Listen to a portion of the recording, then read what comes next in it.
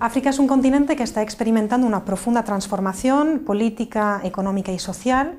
en términos políticos, por ejemplo, ha habido varios eh, cambios recientes de regímenes políticos en Etiopía, en Zimbabue o ahora recientemente en eh, un cambio de gobierno en República Democrática del Congo. También es un continente con países que están experimentando, por ejemplo, tasas de crecimiento por encima del 10%. Esta realidad contrasta con la imagen estereotipada que tenemos del continente, que tiende a simplificar los procesos eh, que acontecen ahí y, por ejemplo, pues a simplificar nuestra comprensión de los conflictos también del, continente africano. Por otra parte, el Departamento de Relaciones Internacionales imparte docencia específica en la que justamente se trata de contribuir a mejorar nuestra comprensión, nuestro conocimiento en España de la realidad del continente.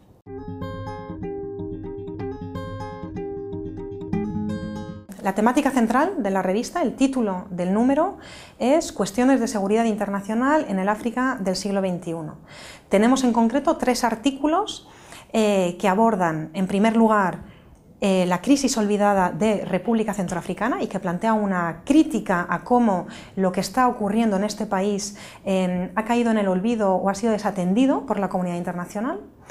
un segundo capítulo que aborda em, la narrativa del terrorismo internacional en la región del Sahel y que concretamente eh, plantea una crítica a cómo las respuestas internacionales que se han desplegado en la región no han contribuido a su estabilización y a la paz y un tercer eh, artículo dedicado a analizar las estrategias de seguridad de la Unión Europea en el continente africano.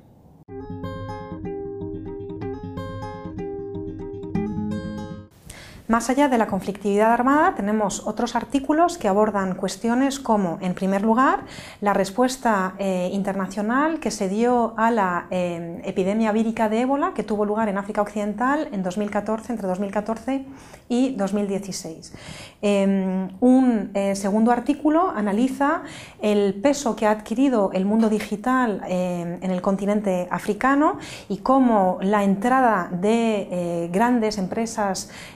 internacionales como Google, como Facebook, como IBM, ha tenido un profundo impacto en la realidad social y política em, de esos países. Y finalmente hay un último artículo que analiza la política exterior de Marruecos, su evolución histórica y el reciente giro que este país ha experimentado eh, desarrollando y potenciando sus relaciones con el resto del continente africano.